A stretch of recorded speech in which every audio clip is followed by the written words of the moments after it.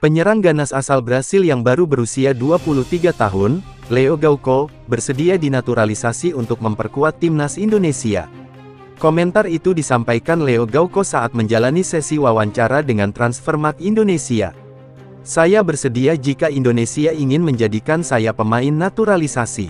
Menurut saya sangat mungkin menjadi WNI karena saya nyaman tinggal di sini, kata Leo Gauco, Senin, tanggal 4 November tahun 2024. Hal yang luar biasa menjadi pemain naturalisasi bermain di negara sebesar ini. Kesempatan besar bagi saya menunjukkan kelas saya bersama negara yang luar biasa, lanjut penyerang bertinggi badan 187 cm ini, Leo Gauco bukanlah penyerang sembarangan.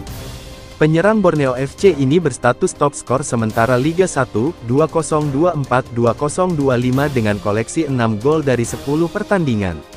Jika ditarik dari seluruh kompetisi Liga 1 dan ASEAN Club Championship tahun 2024 sampai tahun 2025, Leo Gauco mengemas D8 gol dari 12 pertandingan.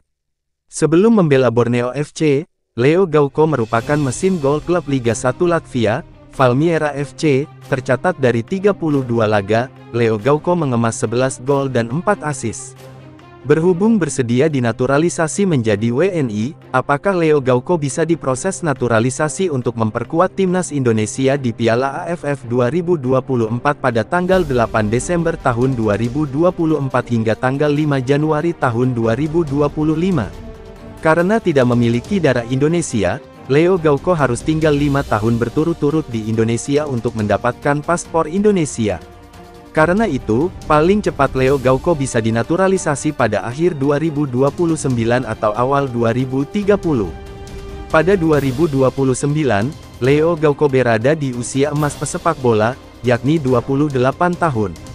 Namun, terlalu lama jika menunggu Leo Gauco dinaturalisasi. Sebab, timnas Indonesia membutuhkan penyerang ganas untuk ambil bagian di Piala Dunia 2026.